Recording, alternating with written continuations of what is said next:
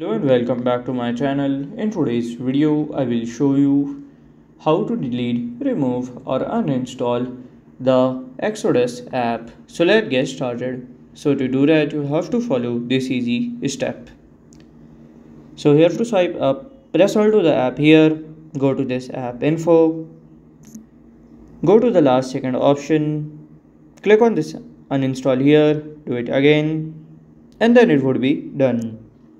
So this is how to delete, remove or uninstall the Exodus app.